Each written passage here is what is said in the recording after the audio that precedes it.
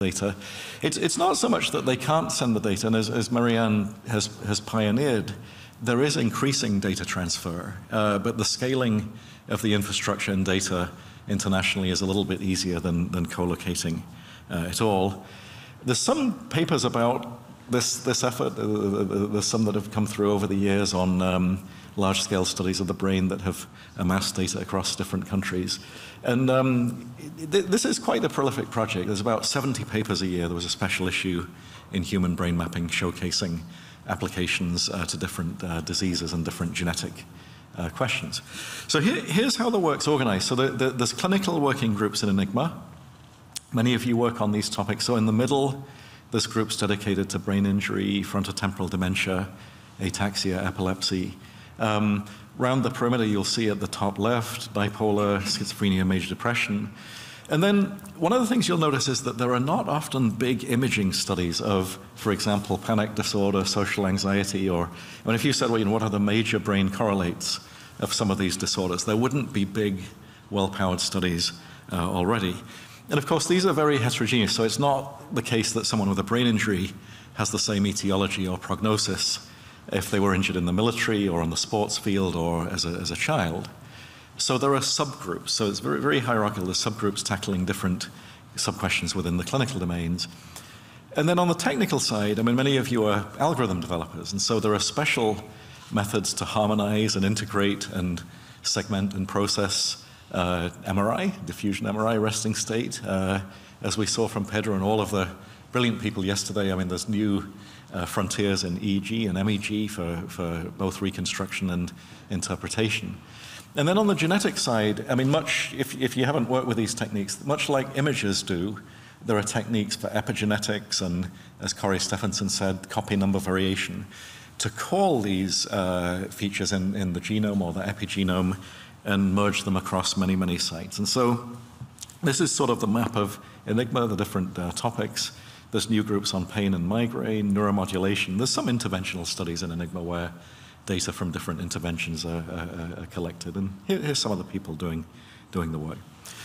So to scale this, Morris had a very nice discussion yesterday on scaling neuroscience.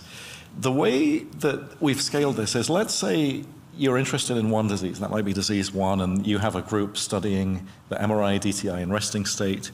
If the same methods are applicable to a second disease, maybe it's schizophrenia at the top, bipolar at the side, major depression, you could then have subgraphs of people that are interested in cross-disorder comparison of DTI, or it might be um, comparing major depression to PTSD with resting state. So there's, there's active, I, I, think as Catherine showed at the beginning of the day yesterday, there's active highways between the different uh, uh, partners going on all the, all the time in this sort of modular hierarchical network of activity.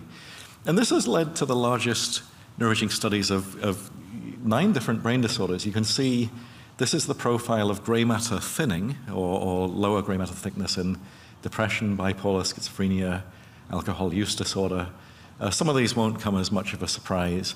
Um, but to first order, this is just structural imaging. You could do the same thing. And these are meta-analyzed maps. So if each, each lab runs a pipeline and looks at case control differences, and that, that's a bit of a simplification of what's going on, but to first order, these are meta-analyzed maps uh, of brain structure. And you can, you can get the t-shirt. You've got to wear, wear your data occasionally. So I just want to link to the brilliant work that's being done in uh, HBHL and Big Brain and, and, and, and HIBALL. Um, Justine Hansen and Bratislav Misic, at, at, I mean, you all, all know their work have linked the disease maps in Enigma to all of the aggregated molecular and connectomic mapping data that's being uh, put together in neuromaps. Uh, Boris Bernhardt and Sara Larivière, also from MNI, have been developing statistical tools to link connectomic gradients uh, and other novel features from brain imaging data to these, these maps. And you could ask some cool questions. So Sofie Valk, who's also here, and, and Meike Hettwer, were also working along the same lines. And they said, well, for the disease maps, at least the deficits structurally, do they resemble patterns of molecular content, uh, either myelination, synaptic density, or some other cytoarchitectonic attribute of the cortex? Do they tend to, do you have vulnerable areas of the cortex that share similar characteristics in terms of connectivity, uh, functional synchrony? And uh, Bratislav Misic said on Twitter, this is a connectomic molecular death match. It was his way, of saying, you know, can we find some uh, fundamental neuroscience principle as to why the cross disorder uh, abnormalities are as they are? Thomas Paus and Yash Patel have also been looking at uh, cellular gene expression tags. There are certain genes that are expressed specifically in neurons, astrocytes, and, and so forth. So if you had a map of their gene expression, you could infer what kinds of cells and in what regions uh, they were. And much as we've seen over the last couple of days, having these new tools through uh, HIBALL and, and HBHL and uh, the Global Brain Consortium led by Alan and, and, and Pedro is really helping to bridge these uh, different disciplines of neuroscience. And last of all, a shout out to uh, Boris Bernhardt and Sara Larivière. Uh, they have been hugely instrumental in Enigma and many other projects in allowing us to bridge in vivo imaging maps of disease uh, to uh, gene expression, other multimodal data on brain connectivity. And as you saw in, in Justine Hansen uh, uh and uh, Jessica Royer and, and, and Raul Cruz's talks on the first day, the, these, these methods are quite easy to use. Even a aging neuroscientist like me can get out their laptop and run uh, these different uh, comparisons. So let, us let, take a step back. So I, Mariana gave a really nice talk uh, on the origins of these types of, of, efforts. I want to say 30 years ago when Alan and his colleagues came to the lab, I was a graduate student, and this was actually quite new to line uh, individual brain maps into a common stereotactic reference frame and then build cortical models. I mean, all of these methods were first appearing in, in, in the 90s. And even the notion of a statistical parametric map of a, of a, disease, in this case Alzheimer's disease, there was a lot of excitement that here the cortical thinning pattern for Alzheimer's could be related one day to the here the amyloid pattern of pathology that is contributing to Alzheimer's disease. And you can even see, I mean, this is a very crude map, but you can even see there's a, a an architectonic uh, segregation where the Braak maps and the uh, imaging uh, do tend to agree. The, um, the raw data doesn't really show it. I mean, th this is someone with Alzheimer's over a period of uh, four years. I mean, except for the ventricular enlargement, you'd be very hard pressed, uh, at least to, to my eye, uh, to, to see any um, specific cortical pattern of disease. It's very, very difficult to see. So you could compile for different diseases time-lapse films. And so th th this was very popular in the early 2000s, that you would take serial images of a patient. This is cortical gray matter deficits versus controls. Presumably, if you had some healthy controls, you could say, tell me where and when in the cortex the gray matter thinning is significant, the white colors in this case denoting uh, significance. And from that, in this case, looking at Alzheimer's, you could infer what the cortical trajectory uh, of that disorder uh, might be. And I mean, you could certainly do this for different diseases. So, does anyone know what disease this is? I'll, I'll play it again. Alan, you're not allowed to answer because I, th I, think you're understudy. Uh, so th th this is a group of patients scanned by Judy Rapoport. She, she was interested in schizophrenia and its development uh, in, in, in, adolescence. It doesn't really look like uh, Alzheimer's. That, that was part of work in, in the early 2000s in drug trials where the, the question was whether antipsychotics slowed gray matter thinning. This is a drug trial of olanzapine, the newer drug at the time, uh, showing that it, it, it, resisted gray matter thinning, albeit that unlike Alzheimer's, we don't really know what the gray matter thinning is uh, in, in, in, schizophrenia. And then in the background, um, does anyone know what disease this is? It's a trick question. I'll, I'll play it again. Anyone hazard a guess as what disease this is? It's, it's not a disease, it's aging. It's aging. So, so I mean, let, us play it again. The, the conundrum then is, I mean, if you have a soup of things going on in your brain, of, of aging and maybe some uh, dementia and old age and maybe some schizophrenia, all, all, those other maps that we talked about that Boris uh, has been putting together uh, in, in the toolboxes. How, how, how do you disentangle them? I mean, it's a little bit difficult. So one way in is Enigma assembled the control. So Pedro talked about a wonderful project yesterday with EEG where you make a normative model. So you collect measures from EEG. In this case, it's from structural imaging. This is the volume of the thalamus. And Centile Brain is a tool that has aggregated all across Enigma the control data, in this case from 18,000 people from 35 countries. And it's given you percentiles. I mean, th this is assuming that the inclusion criteria for the studies are reasonably similar. I mean, you're ruling out people with psychiatric or neurological uh, illness. And the, the, the data, I mean, you could just look at it as individual data like this. You could query it. Centile Brain lets you download data and do some, some studies with it. And you, you could say, well, what is the mean trajectory for healthy people all over the world? That little uptick at the end, we don't get more brain when we're 90. the, the, the, only people still willing to come to the scanner when they're 90 are pretty unusual, so that's what's going on there. But look, look at how dissimilar uh, the, the maturational trajectories are for some of our favorite structures. And you, you could look in, in kids. So Rebecca Knickmeyer leads Enigma Origins. I mean, she's been doing this uh, for, for infants. I mean, you could certainly make your growth charts for, for, for infants as well. And I mean, that's much more well behaved. And um, you could make a normative model. So let, let, us say someone has an eating disorder and they, they have anorexia and they are, are given renutrition, they, to see if the brain and body are getting back on track. You could use these charts to gauge um, whether or not they've recovered. Now, now there's a bit of a, a secret here. So this is a normative model of DTI based on 50,000 people. The data coming in on the bottom left isn't really like the nice looking data that's there in the graph. So there's a huge site effect. So this is the FA, uh, the fractional anisotropy. Um, I can't remember what, which structure, it's probably the corpus callosum. And even though you have this well-behaved data, there's a site difference and a protocol difference. If you have big voxels, the FA is going to be lower. And so for every site, there's a trajectory. And, and just to sort of let, let you know how these are used, if you download the normative curve and you plot your patient data onto it, it doesn't mean all of your controls are abnormal if you see a shift like that. What is usually typical is you will do a site correction or a hierarchical Bayes model that will model the age dependency in your data and a site and protocol effect. And there's a, a little bit of a guidebook, a side effects guidebook on how to model these. One way is, is ComBat. And for the mathematicians here, you have the age trajectory that everyone in the world has created. And then you have a site effect, which is both a shift and a multiplicative site effect, which are the gammas and the deltas that are there. And the side effects are modeled with a site-dependent shift and a scale and an alignment of all the higher order moments of the, of the data. You can do an F-test to see which ones differ from the normative data. And that allows proper assembly of lifespan charts for the brain measures, even if the different protocols uh, don't look uh, exactly like that. So let, us get into genetics. So Kári Stefánsson said yesterday that he, he and his deCODE colleagues had discovered TREM2, a really cool paper 10 years ago. TREM2 is, uh, uh, uh well, uh, the variant in TREM2 that, that carries risk for Alzheimer's disease doubles your risk for Alzheimer's disease, which is very bad.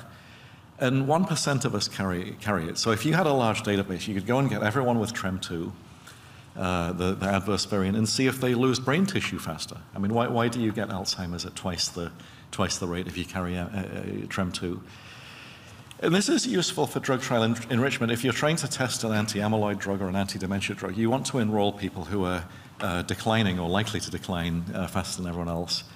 And so how do we find genes like TREM2? I mean, maybe there's 3 billion base pairs and some of them speed up or slow down your brain tissue loss or amyloid accumulation or something else.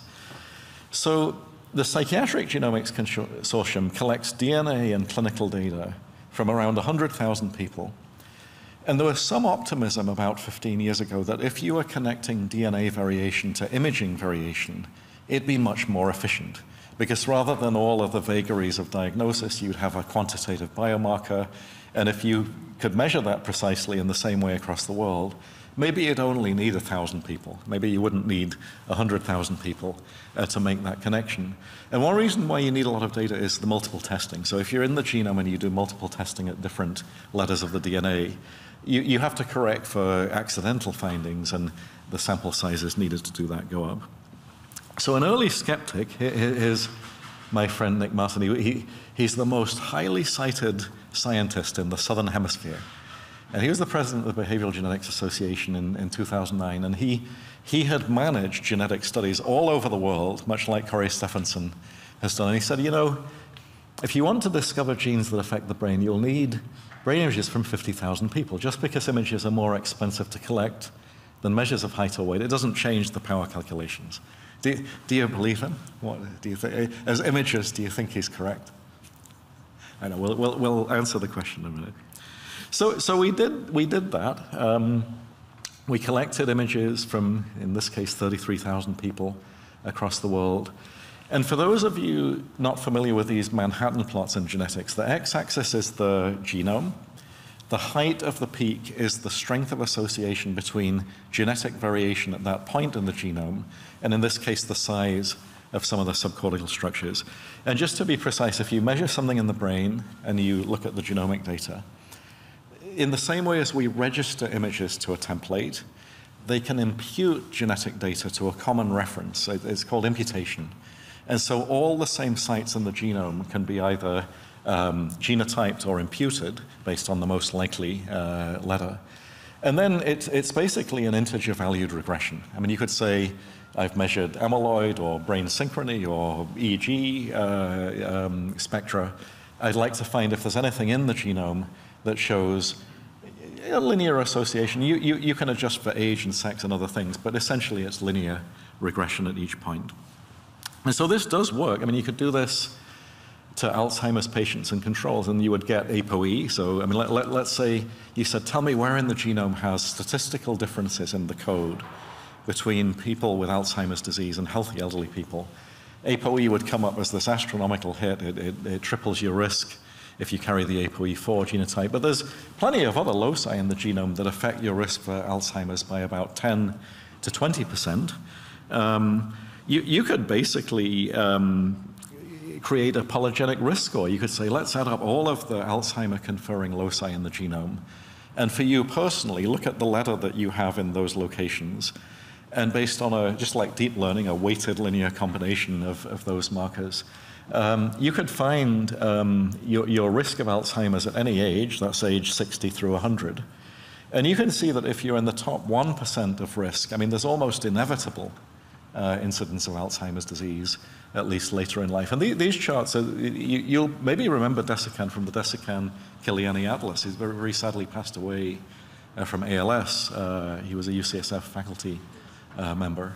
But this notion of a polygenic score that links your genome to your health outcomes, you can do it for the brain as well. It's sort, sort of interesting. So not all the diseases are the same. If you do a genome-wide search for loci associated with schizophrenia, it's a little bit messier. So as they added data to the Psychiatric Genomics Consortium over the years, more and more hotspots in the genome became linked or at least statistically associated with schizophrenia. This is uh, the Manhattan plot. It looks like Manhattan in New York, the skyscrapers and what have you. The points that cross that threshold, where the log of the p-value, the negative log of the p-value is at least seven, they are locations that pass the Bonferroni correction. So if you look at a million nucleotides, I mean, probably 5% of them will come up by accident as crossing 0.05, if that's the threshold. So instead, they have this very stringent so called genome wide association threshold, which is why so many subjects are usually recruited for these. So Enigma piggybacked on the PGC's approach and computed measures from brain scans, tested associations between the brain measures and SNPs. And then the PGC does this, so we borrowed it. We meta analyzed the effects. So if you had a Manhattan plot at each site, you could weight them according to how much uh, data each site was contributing. And if you scanned 100 people, or if you were the UK Biobank and you scanned 50,000 people, the weight of your sample could be, could be factored in. So the first discovery was that there are apoptotic uh, cell death related genes where polymorphisms are related to atrophy. So that is a, it's not as nice a hippocampus as the ones we saw yesterday, but this is a hippocampal model. The, the front of the hippocampus shows localized, um, I won't say atrophy, which is differences in structure that are linked with apoptotic gene uh, variation. Um, this lady in Dagestan called us. She works in the ethnic isolates of Dagestan in the Caucasus Mountains. And she said that area of the genome that's linked to hippocampal volume has also been linked uh, in these genetic isolates uh, to, they, very inbred. I mean, there's areas of the world where there's not much leaving of the area, and this is one of them, it's in Dagestan. And she was their doctor, and so she went to this community, genotyped them, and linked, linked this same hippocampal gene uh, to mental retardation uh, in, in, in this isolate, which is a very, very cool functional correlate of this. This kept going, and so you could find lots of genetic loci. What, what about ApoE? So ApoE, we said, was linked to Alzheimer's risk later in life. If you look in the genome and you find ApoE, its association with hippocampal volume is age dependent. So when you're 20, if you carry ApoE4, there's no impact at all, at least on hippocampal volume. But by the time you get to 60 or 70, you'll remember Kári Stefánsson said ApoE4 carriers have a precipitous decline in cognition between age 55 and 68. And it looks like there's this massive erasing of hippocampal volume later in life. So there's a little bit of nuance here. ApoE doesn't always come up in a, in a GWAS. And it's because if you have young people in your GWAS, you won't see the effect. So you have to be th thinking a little bit ahead that some of these genes might act during a certain period of the lifespan. And if you throw all the data together, you might obscure that. So, so you can do this for all sorts of brain measures. Here's brain volume, intracranial volume, uh, work, work, by Hieab Adams. Uh, the tau gene, so microtubule associated protein tau, or just tau, is very famous. And so there's polymorphisms in the tau gene that lead to Parkinson's, ALS, uh, to some extent Alzheimer's. And people that have the Parkinson's disease conferring risk variant of tau have bigger brains. So that's, that's very strange. They, they have larger brains than normal. It's not, there might be a, what Alain Dagher at McGill calls an antagonistic pleiotropy, uh, an early beneficial effect of this polymorphism, which might keep it around uh, in, in human populations, but a later negative effect. Here's the Parkinson's GWAS. I mean, you'll see that it's the second top hit if you screen Parkinson's patients for genetic anomalies. The other one being the synuclein alpha gene, which is involved in dopamine uh, neurotransmission. So you can keep going, and I mean, this is, this is sort of fun. I mean, what, one intuition is that the genetic determinants of each structure might be in common uh, if the structures are close together or they have the same, the same function. And so you can look at this. So much like we were looking in the past couple of days at overlap in the cytoarchitectonics or the myeloarchitecture or the function of different islands uh, of the brain, you can say, well, all these loci that affect the volume of different structures, are, are they partially overlapping? Are there genetic programs that determine sectors uh, of, the, of the basal ganglia? And the first thing to notice is that a polygenic score, you can just add up the letters that you have in the genome at certain locations, weight them by the impact they have on, in this case, the volume of the structures. And that score alone accounts to 5 to 10% of the volume variation in controls, which is, is going to go up. I mean, this, the fraction of the variance that is uh, modeled using GWAS, I mean, we certainly aren't near the limit.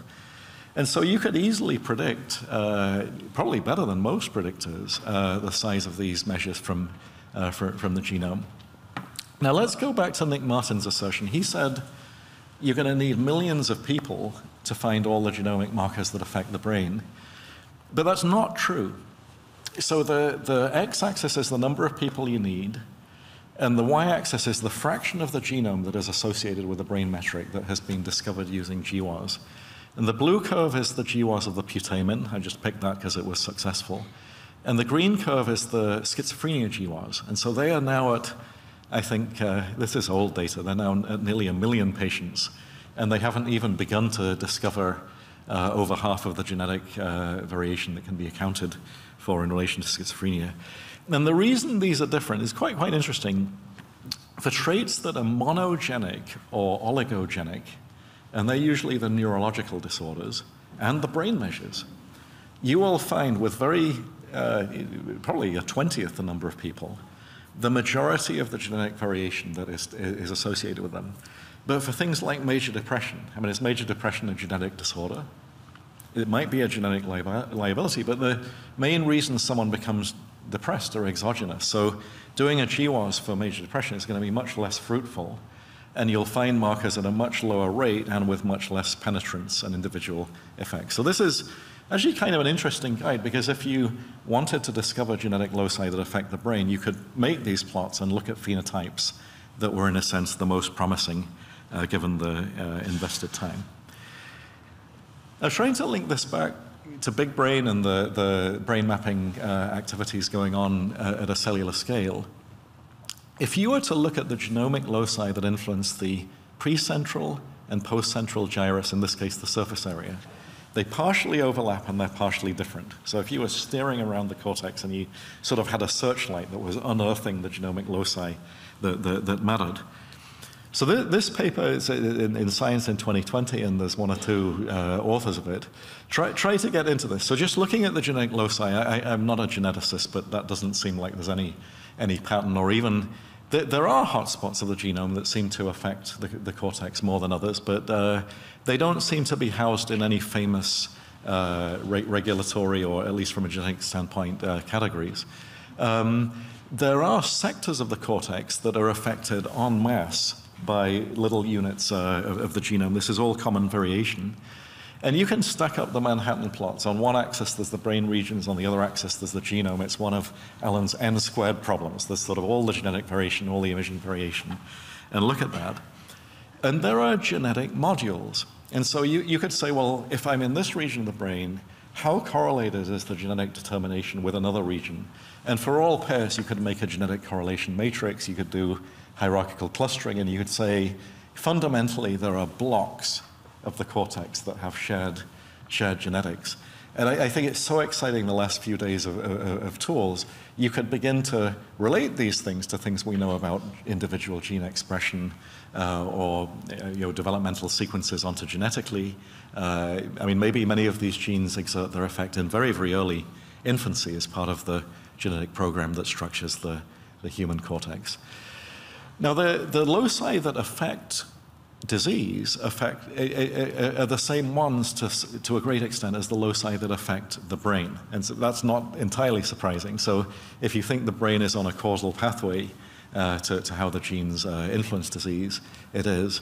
Then you can also do regional anatomic uh, questioning of, of that hypothesis. Are the genes affecting this region some of the same ones that affect disease. The strongest links are with Parkinson's and some of the developmental disorders.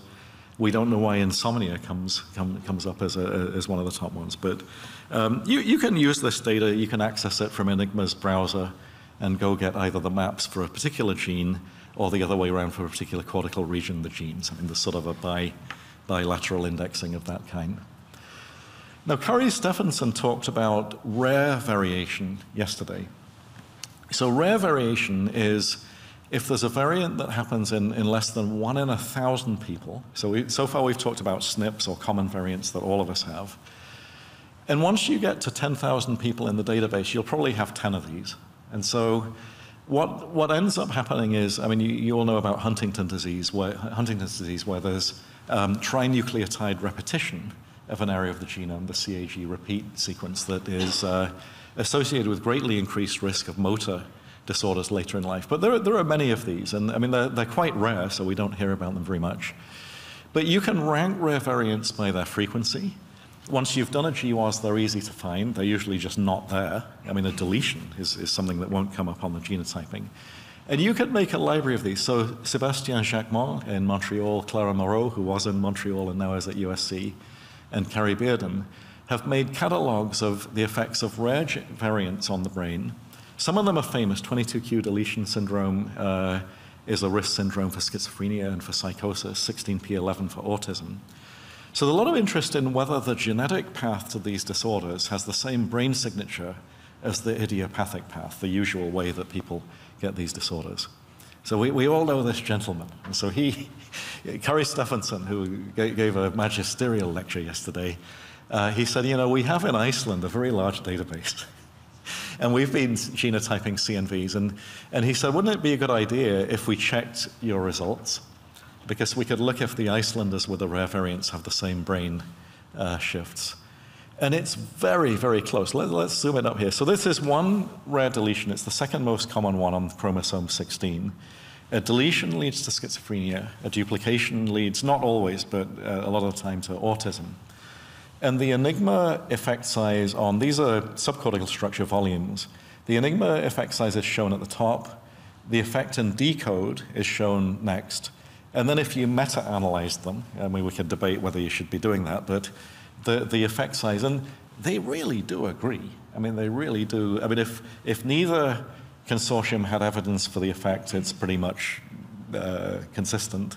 And even the direction and degree of effect is, uh, is close. So, so Decode and Enigma and uh, many colleagues in the H HBP uh, have been making catalogs uh, of these and looking for the effects in the brain. Here, here's Ida Sønderby from Oslo with her uh, map of all the rare variants and their effects on the brain. I mean, it's kind of a cool activity.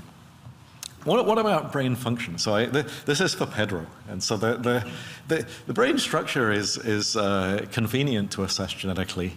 Um, but EEG is actually more convenient. I mean, as Pedro said yesterday, you can have an EEG in uh, tw 20 minutes in a hotel. That was done in a hotel.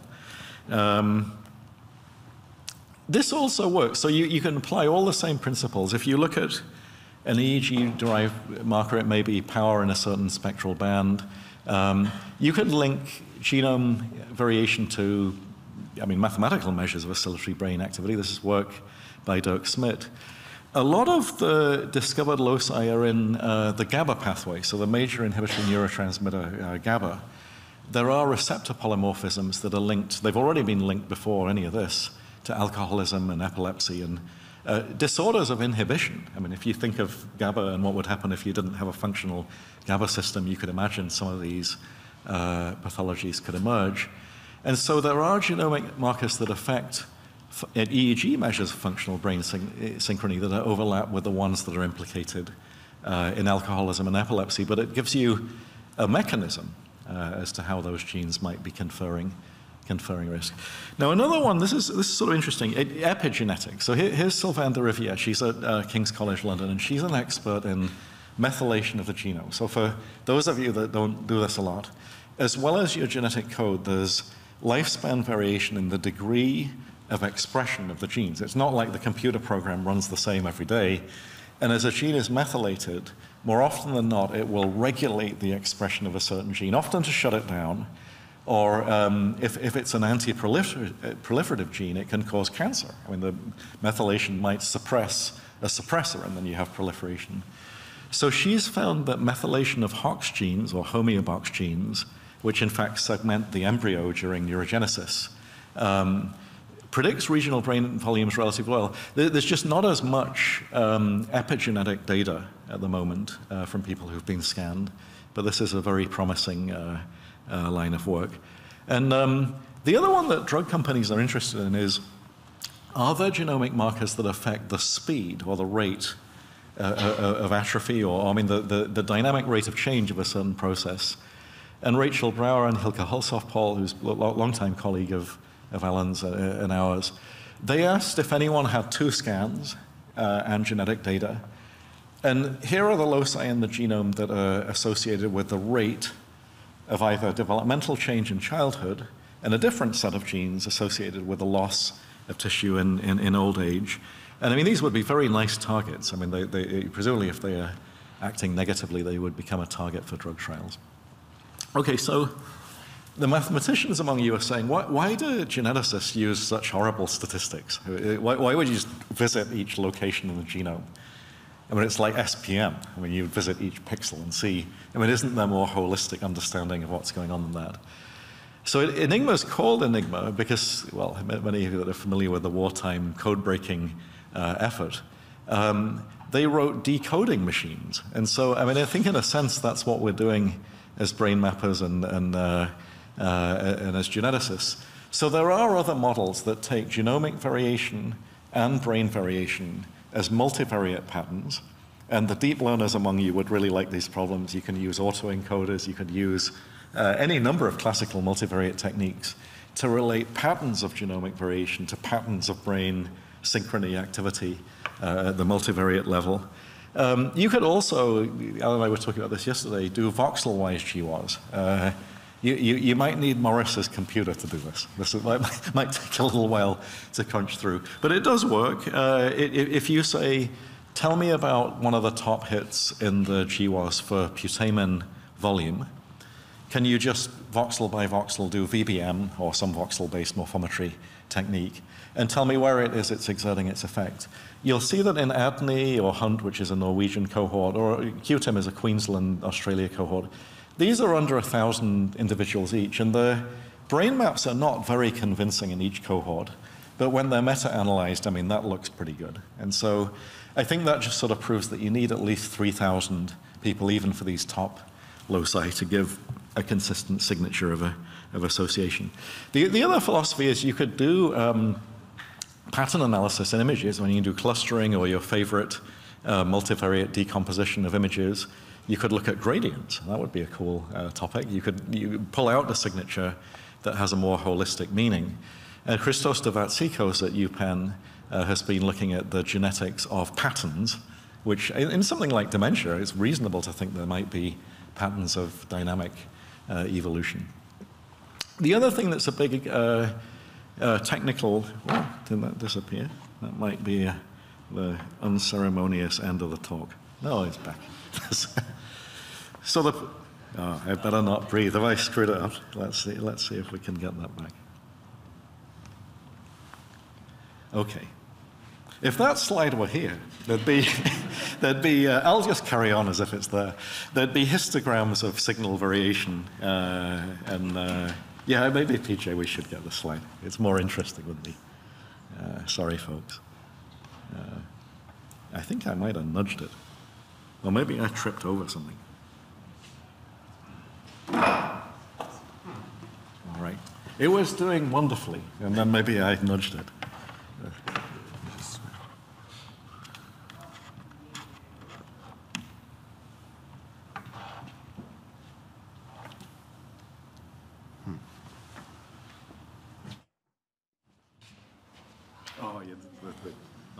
stand well back.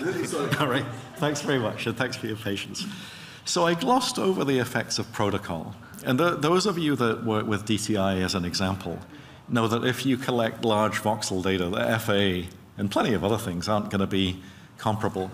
And so there's huge work on harmonization. I mean, this is work by Neda Jahanshad uh, at USC, where deep learning, adversarial deep learning, is used to adjust the contrast of scans from one scanner to appear as though they were collected on another, you don't even need paired data. You don't have to have somebody who scanned at both places. And this line of work, um, I'm moving a little bit into the AI area now, has been used to improve the agreement between data sets collected on different scanners. So you might be familiar with CycleGANs. If you have a painting and you'd like to know what the scene looked like in real life, or maybe you just want the painting, you could learn from examples of Monet and photographs how the style affects the, the, the picture. And so they've used that concept to do style transfer for, for MRI. Um, it, it, it, does work. It's kind of cool. I mean, the, the, the, methods work. Jerry Prince at Hopkins has another way of doing this. It's a more physics-based approach where you say, really a T1 and a T2 image, there's physical principles that govern how these scans look.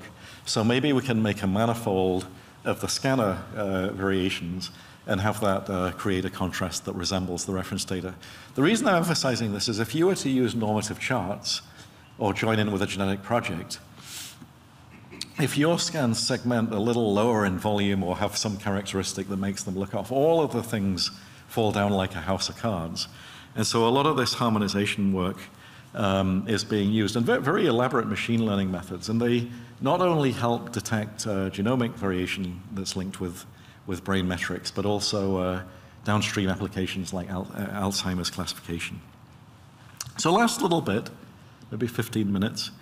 Um, all the same arguments we've talked about relating genomic variation to images are applicable to disease. And I mean, that's obvious. I mean, it, it, but you, you could apply the same reasoning to data on a particular disorder or disease collected across the world. Here's Enigma schizophrenia work, 33 global samples. Um, you could say what is the best individual biomarker uh, in the brain that's linked to schizophrenia. Here it looks like it's the fusiform gyrus.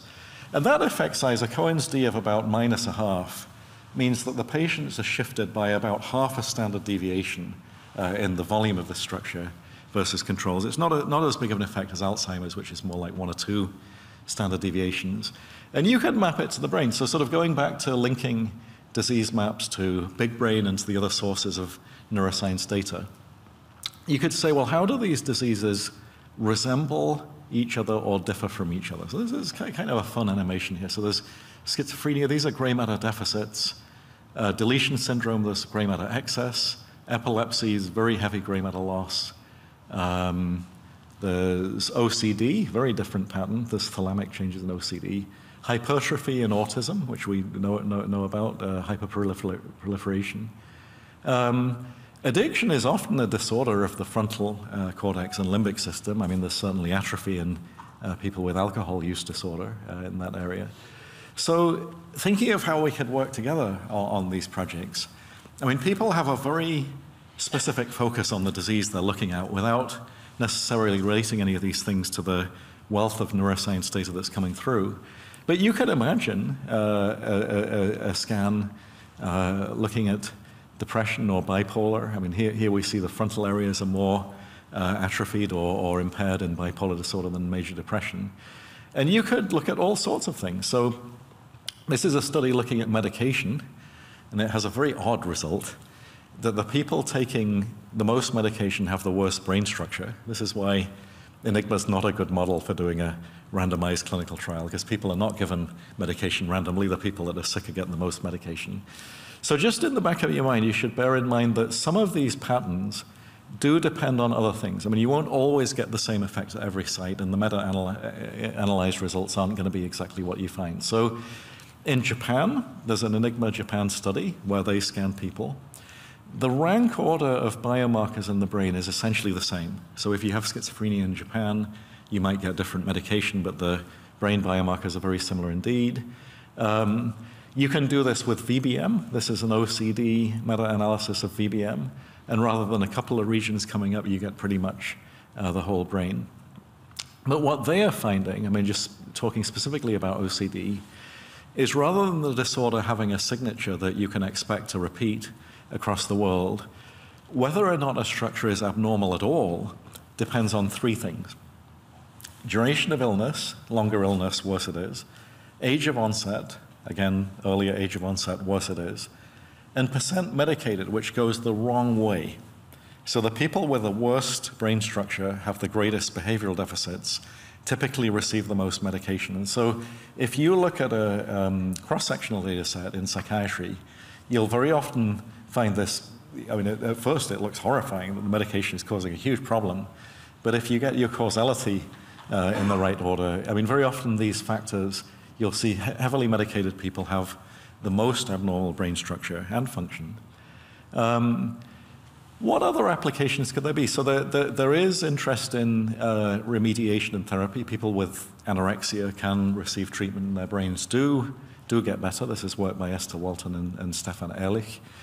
Anorexia has the greatest impact of any psychiatric disorder on the structural morphology of the brain, with the exception of the um, traumas uh, and late, late life uh, neurological disorders and, and uh, obviously things like GBM. But of all the psychiatric disorders where there's no uh, known brain mechanism or that's officially accepted, the effect size is about one standard deviation uh, of, of, deficit in, in, in patients. And here's an age old question. So, Tim Crow is a British guy that always used to say schizophrenia is associated with diminished lateralization of the brain. So, this was an enigma challenge uh, to see if there was any evidence for that at all.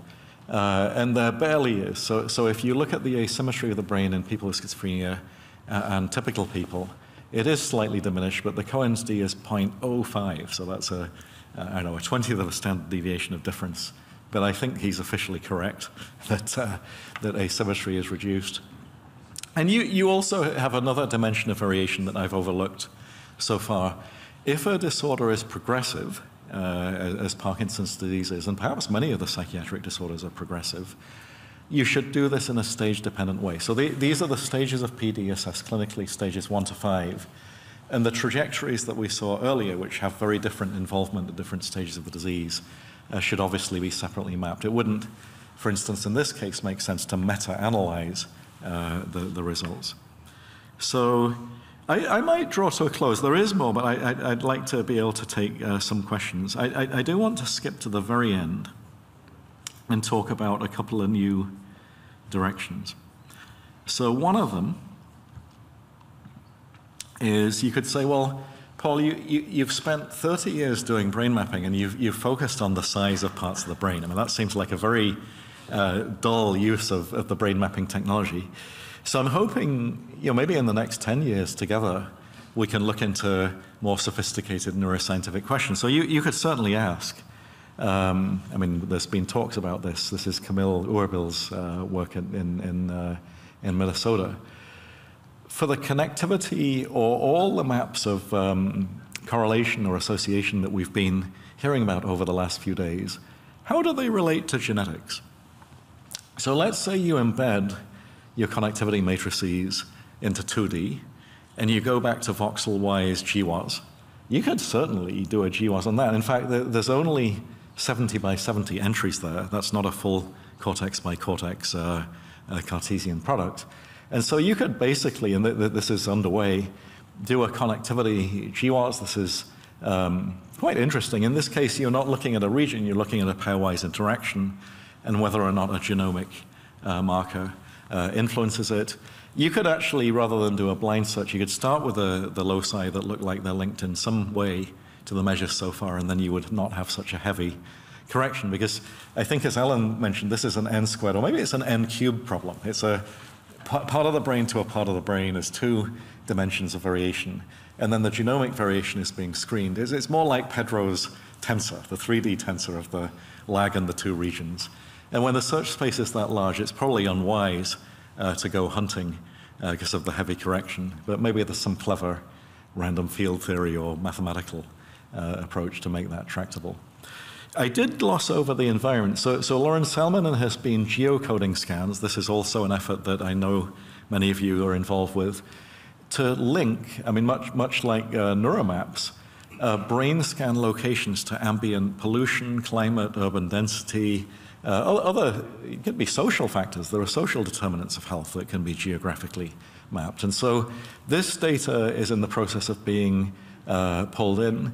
Um, you can do this anonymously, and so you could exchange the indexed uh, environmental data without saying uh, to the analyst where the person was or what their identity is. So that's kind of interesting. And given, uh, so this doesn't happen in Iceland. Apparently in Iceland there's not very much. I think Morris, you were sending some statistics. Iceland's the place to be if you don't want to be exposed to, to these things. But because obviously they matter for brain health and health in general, uh, you would want to uh, factor them in. So, so some sociological lessons. Uh, this maybe comes back to Marianne's talk uh, on, on the first day. I think the sociology of this is, is potentially much more important, or equally important, as, as the um, computing and the data.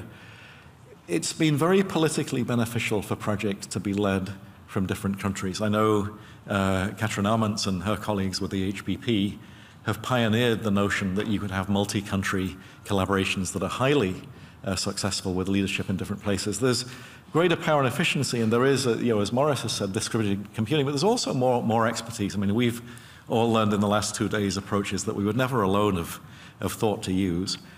So for this reason, there are data collection efforts in Enigma. So I, I, made it look like everything is retrospective data analysis. There's some parts of the world where there's not a lot of data. The India Enigma initiative is, is collecting lifespan data uh, there. I mean, the goal is to find if there are uh, influential fa factors in India that perhaps aren't operating elsewhere. There's Enigma activities collecting data from in infants in, in Thailand and Cambodia. Very, very, they, are very interested in, in um, infant HIV and whether antiretrovirals put your brain development back on track. So they, they lead the HIV group, which is appropriate. They, they're very knowledgeable about HIV uh, and the brain. Uh, this one is on pause. We will not be doing that because the government says uh, it's un unwise, but that was a very, uh, very active project in, in, in Russia for some years. When I was a British citizen, I was allowed to travel to this place. Uh, as an American citizen, we cannot work. Th this was solved because the people in Iran who ran, in fact, the sleep group in Enigma, they moved to Germany And so now we're allowed to work with them. You can, you're, allowed, you're not allowed in the US to work with an Iranian people if they're in Iran, but if they're in Germany, you can, you can do it. And uh, in a couple of weeks, we'll have Enigma Turkey. I mean, there's a lot of uh, interest in, in, in, Turkey in collecting uh, brain data, uh, obviously at the boundary of the uh, you know, many cultures, and it's interesting what is happening there. And we, we talked about some of the others. Some, some of these didn't really get off the ground. I don't want to act like it's all successful. So Qatar is a very rich country, and they have a genomic database. Um, if any of you want to go there and help them do imaging, they'd be very appreciative. But they have, like Iceland, a very precious genomic database. We, we started a collaboration with them, but it's not, not very well staffed. The images are in short supply uh, in, in Qatar, but it, it, it could be uh, valuable. So just in summary, um, Enigma coordinates international neuroimaging studies uh, of brain disorders across, I think it's now 45 countries, that analyze those four or five data modalities. The brain signatures do change with, with, with three main factors duration of illness, age of onset, uh, and, and other modulators. I mean, usually medication if it's, if it's working. But like dementia, there are many subtypes. And so those of you that work in Alzheimer's, Parkinson's, FTD, I mean, you know that dementia isn't one thing. I mean, there are subtypes. So I think the way the field will move in the future is to say, well, meta-analysis is a first step, but it isn't really that everyone's effects are going to be the same. even if you were looking at a disorder in different countries, there would be subtypes that you need to, to understand with different prognosis and perhaps different treatments. Genomic screens have identified a lot of loci that accelerate brain, oops, brain, brain aging. Uh, there's an interest in imaging genomics of identifying why a genetic risk factor influences brain health or disease. A lot of them have, like ApoE and TREM2, very clear effects uh, in, in brain scans. But to be honest, the rarer variants have the larger effect. So if you, if you remember Kári Stefánsson's uh, talk yesterday, one of the reasons that DECODE is studying rare variants is that they've assessed enough Icelandic people that you can find them. I mean, there's pl plenty of examples. But they are often uh, prodromal uh, conditions for um, psychiatric conditions that are quite difficult to study otherwise. And so you have a very genetically well controlled background to understand the emergence uh, of a disorder. There are new groups in Enigma testing TMS. I mean, there are interventions.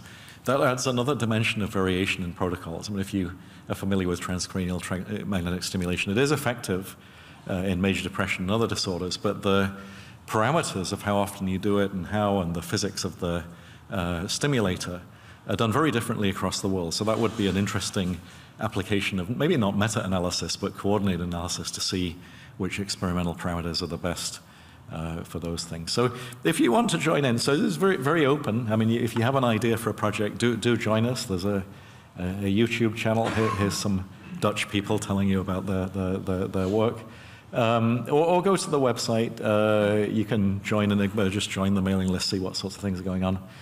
And again, I mean, number one, a big thank you to all the individuals who have scanned people uh, for Enigma. These are meetings in different countries. There's, I think, one in Mongolia in, in, in there um, that are contributing uh, to, to, the overall uh, activity. And then the funded, I mean, just a word on how this is funded. So NIH funds about half of it. NIH will send funds out of the US. I mean, this is, this is uh, um, it's, it's fine. But the national biobanks of each country are usually the primary funder of the data collection uh, in, in, in, each funding. And there's some private funding, not much.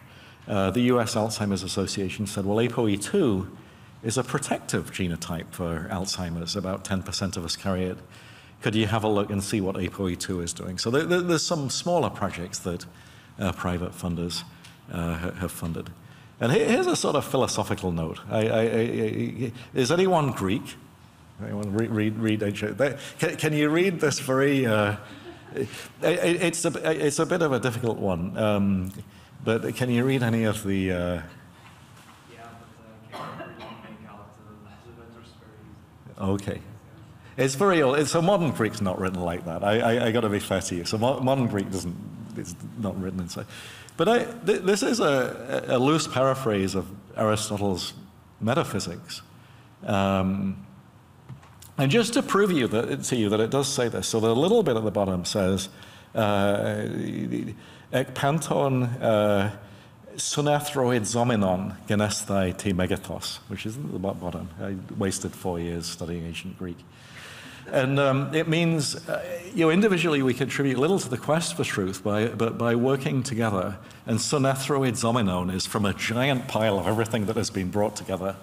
Uh, Genesthai T megathos. I mean, you know this. There, there will be created something enormous. T megathos, or me, me, mega, I guess is what it is. So I think people, well, maybe he was better than most, but he appreciated early that working together uh, was beneficial. So once again, th th thanks for coming. Thanks to Ellen and Catherine and Morris for such a wonderful meeting. And it's been a real pleasure learning from all of you uh, these last few days. Thanks very much.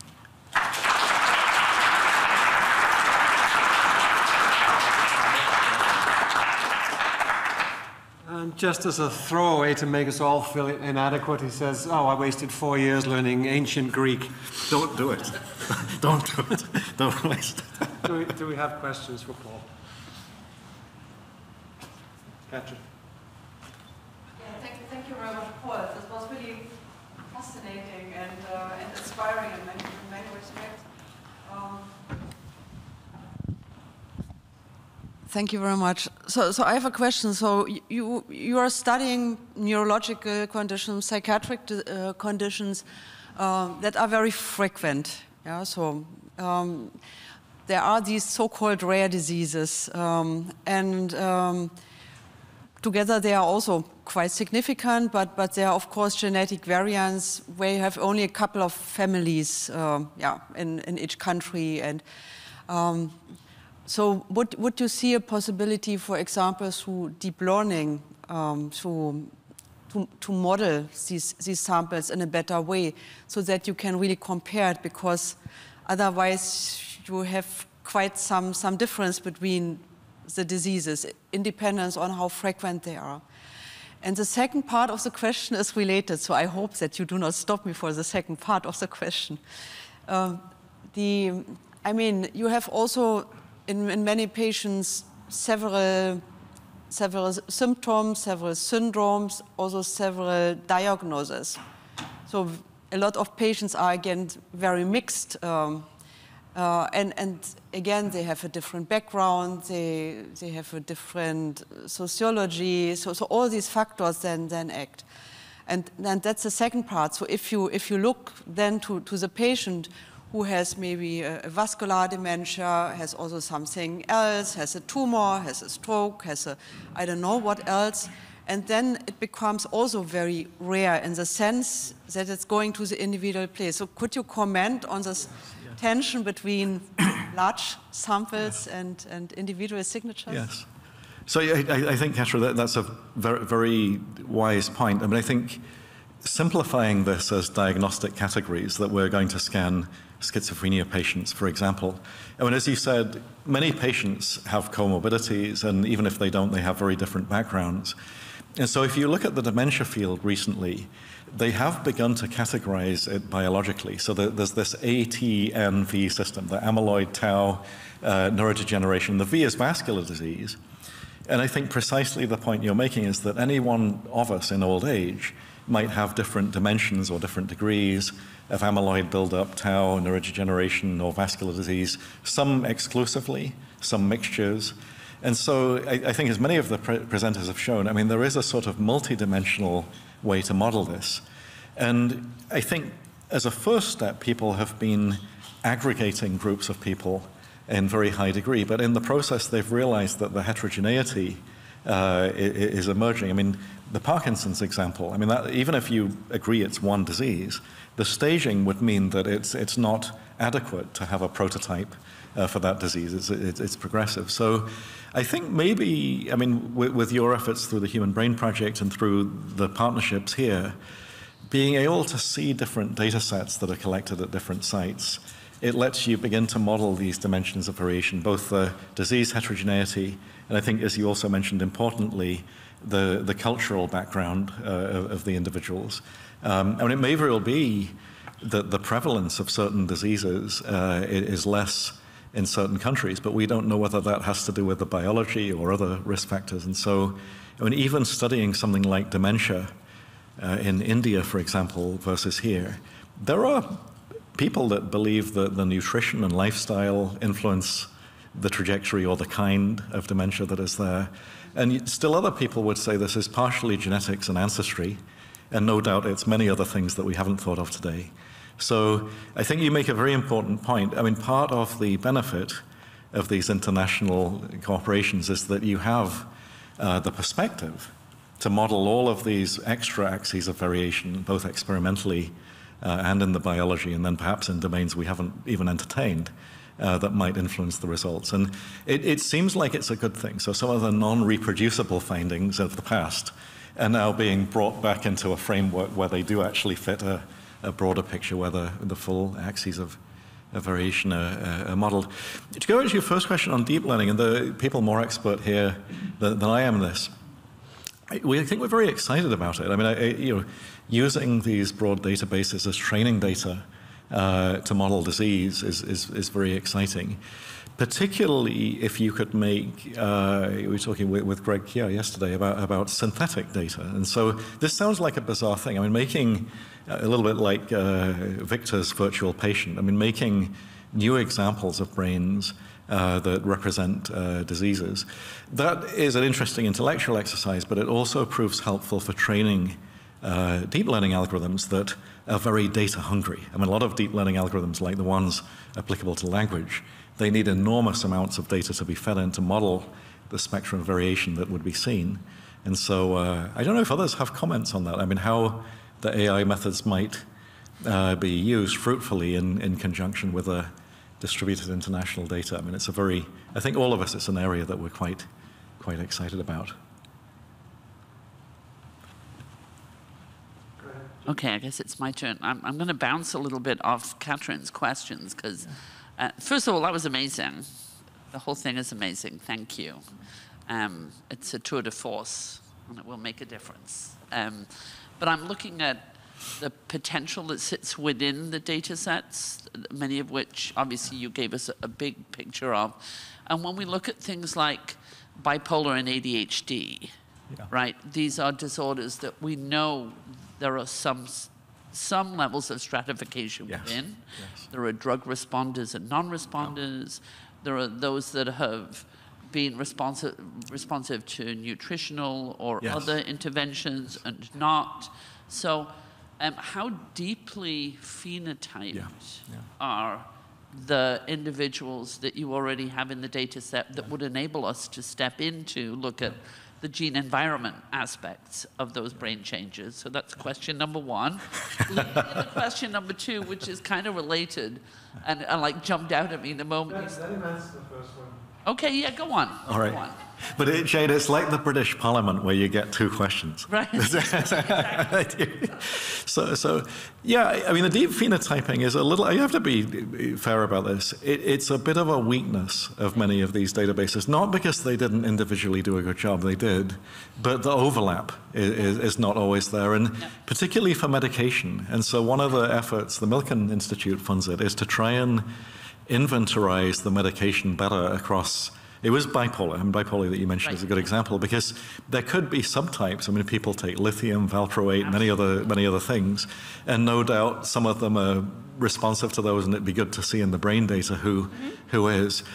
But it, it seems to require something that's not impossible for people to go back to the medical charts and dig out. Um, I mean, medication, as you know, is complicated. It's not just what medications people had, it's whether they took it, when yeah. they were taking it, and for how long. And that type of very you know, heterogeneous data is usually in medical charts. And so I think that's a great point. It's often something that the funders don't really provide funding to do, to do some archaeology, some dredging of past data, but very, very valuable because I think the points that you've made, I mean, practically, if you could find patients that uh, you know, had a certain lifestyle that was beneficial or not, or had a certain medication sequence that was beneficial or not, that metadata, I mean, from an imager standpoint, right. metadata, is probably the most important at all. And so, uh, and I mean, you, you know this, Jane. I mean, there's efforts to systematize the collection of that data. Our, doc in the United States was trying to encourage people at the outset uh, to collect similar things so that this wasn't a big problem later on. But I mean, to be honest with you, I mean, things like diet, nutrition, some biobanks do a very, very good job of this, but others completely overlook it. I mean, for you know obvious reasons of funding and, and, and scope for that project. I, I will have to change that. So the second question is about the almost throwaway comment about the anorexia data. Yeah, yeah. because I'm immediately sitting here going, okay, a number of these individuals will have basically put their body into a, a, a sys- system of extreme waste, Yeah. both metabolically, hormonally. There will be male female differences. That within the context of those data, there will be some really valuable gene environment, oh, body affecting mind, and vice versa interactions that. And I, how deep are people looking into those things right now? Because that in and of itself could be a great backdrop in otherwise normal individuals for Yeah. many of the other effectors we need to look Yeah. at in the other disorders that will have a nutritional component.